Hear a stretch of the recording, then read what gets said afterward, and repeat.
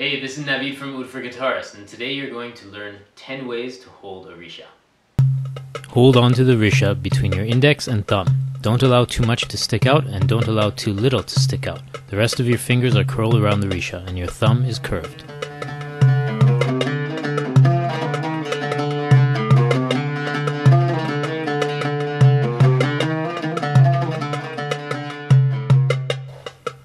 Hold it in the traditional manner, but shorten the length that sticks out from between your fingers. You can play harder and stronger.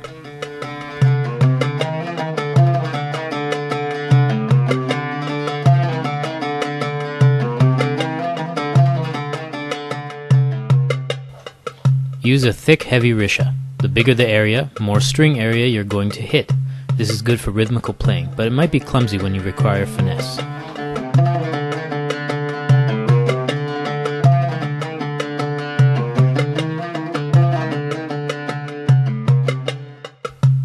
Not using an eagle quill, but you can try to create a similar sound by leaving more risha length sticking out and using a narrow risha.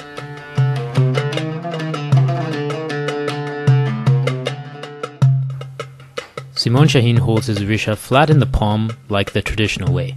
The angle is parallel to the strings and doesn't come down on the string at too much of an angle. He holds it short, firm, and relaxed.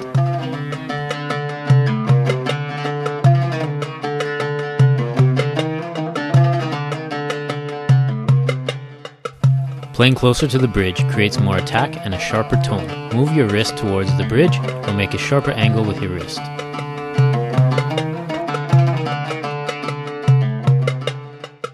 Try holding the risha over the holes or closer to them. You can create a soft, mellow tone and a wash of sound.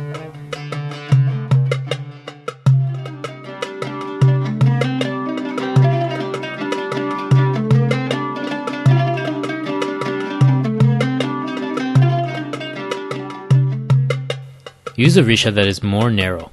Hold in between your fingers and put the other end through your third and fourth fingers. This creates a sharper angle when you hit the strings, making it good for strong downstrokes and rhythmical playing.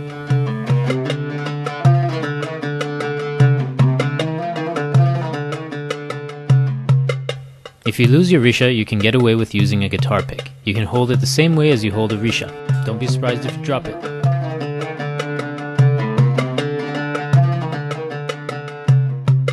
You can also use a thick mandolin style pick. Curl your hand into a ball similar to holding a normal risha. It's heavy and will create a lot of attack and tone.